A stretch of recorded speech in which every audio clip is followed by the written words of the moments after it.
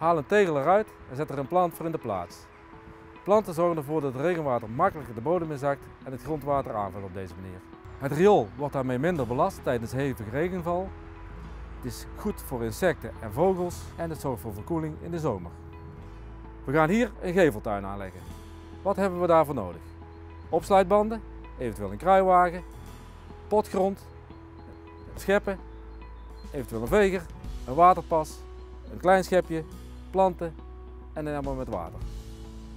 Zodra je bepaald hebt waar je je tuintje wil hebben, begin je met het verwijderen van de tegels.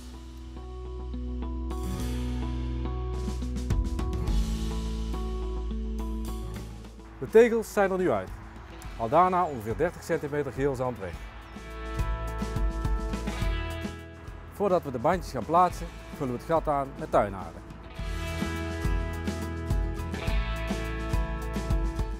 Nu plaatsen we de opsluitbandjes. Zorg ervoor dat ze netjes recht staan. Gebruik daarvoor de waterpas.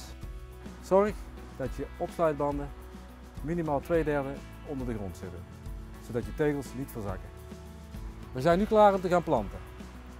Deze tuin ligt op het noorden en daarvoor hebben we deze planten uitgezocht. Informeer bij je tuincentrum welke planten geschikt zijn voor jouw tuintje. Nog een tip, zet de planten even diep in de grond als dat ze in de pot stonden.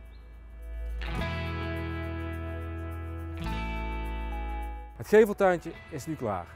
Ook in de stad kun je een bijdrage leveren dat regenwater de grond intrekt. Het is een mooie plek voor vogels en insecten. Mogelijk kun je subsidie ontvangen. Informeer hiernaar bij je eigen gemeente.